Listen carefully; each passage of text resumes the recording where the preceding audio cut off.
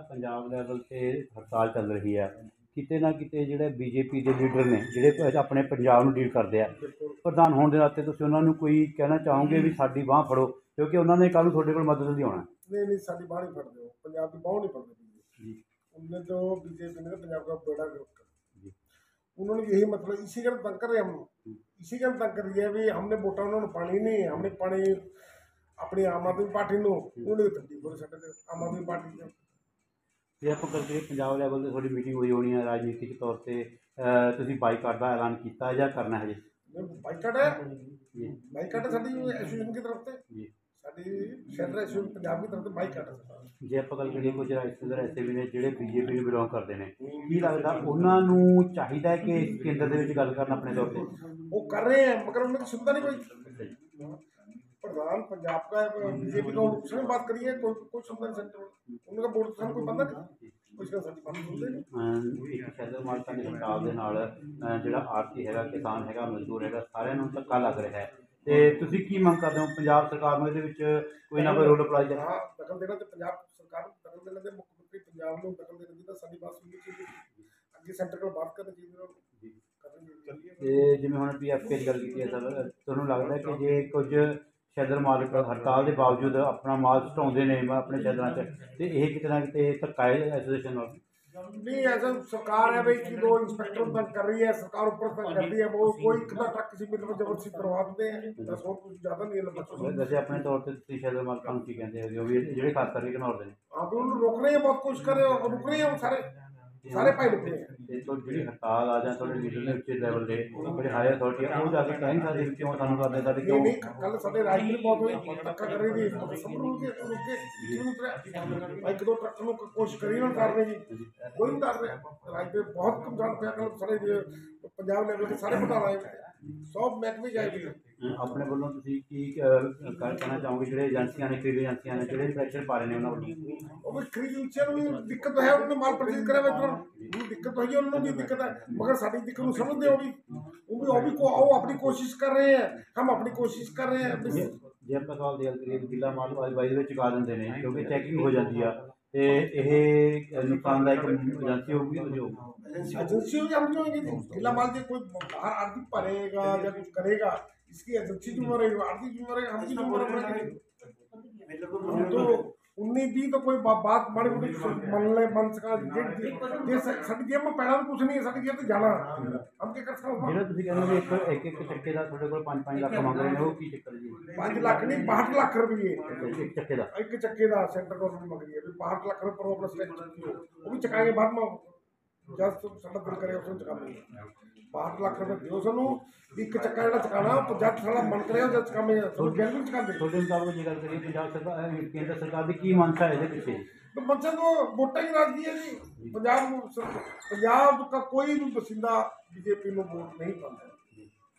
तो इसी का रोक तंग करे पंजाब को तो मतलब नहीं है। ਅਹ ਜੇ ਆਪਾਂ ਸੁਨੀਲ ਡਾਕਟਰ ਦੀ ਗੱਲ ਕਰੀਏ ਕੈਪਟਨ ਅਮਰਿੰਦਰ ਸਿੰਘ ਦੀ ਗੱਲ ਕਰੀਏ ਜਿਹੜੇ ਅੱਜ ਵੀ ਬੀਜੇਪੀ ਦੇ ਨਾਲ ਲੱਗੇ ਹੋਏ ਨੇ ਕੀ ਲੱਗਦਾ ਕਿ ਉਹਨਾਂ ਨੂੰ ਇਸ ਮਾਮਲੇ 'ਚ ਕੁਝ ਨਾ ਕੁਝ ਕਰਨਾ ਚਾਹੀਦਾ करना चाहिए बिल्कुल करना चाहिए ये इनका मन जीतेंगे सेंट्रल एसयू का मन जीतेंगे आरती एसयू का मन जीतेंगे जिमीदार का मन जीतेंगे उनके मन में अपना वो भावना पाएंगे उस तो प- उस तो फर्क पड़ेगा उसका ना उससे म- अगले के मन में जाएगा भी साड़ी सुनवाई हुई साड़ी सुनवाई कोई करता नहीं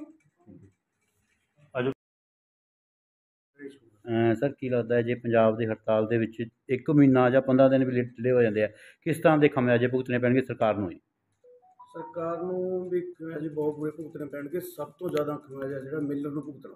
ਜੀ। ਦੇਖੋ ਅੱਜ ਜਿੰਨੀ ਮੱਡੀ 'ਚ ਫਸਲ ਆ ਰਹੀ ਆ ਉਹਦੀ ਬੋਲੀ ਲੱਗ ਰਹੀ ਆ ਇੰਸਪੈਕਟਰ ਮਾਲ ਭਰਾ ਰਹੇ ਆ। ਉਹ ਕਿਵੇਂ ਦਾ ਭਰਾ ਰਹੇ ਕਿਵੇਂ ਦਾ ਨਹੀਂ ਬਿੱਲ ਜ਼ਿਮੀਂਦਾਰਾਂ ਦੇ ਲੱਗ ਰਹੇ ਆ ਜ਼ਿਮੀਂਦਾਰਾਂ ਨੂੰ ਪੈਸਾ ਮਿਲ ਗਿਆ। ਲਾਸਟ 'ਚ ਐਂਡ 'ਚ ਕੌਣ ਹੈ? ਮਿਲਰ ਹੂੰ। ਮਿਲਰ ਉਹ ਮਾਲ ਕਿਹਦੇ ਕੋਲ ਜਾਊਗਾ ਮਿਲਰ ਕੋਲ ਜਾਊਗਾ।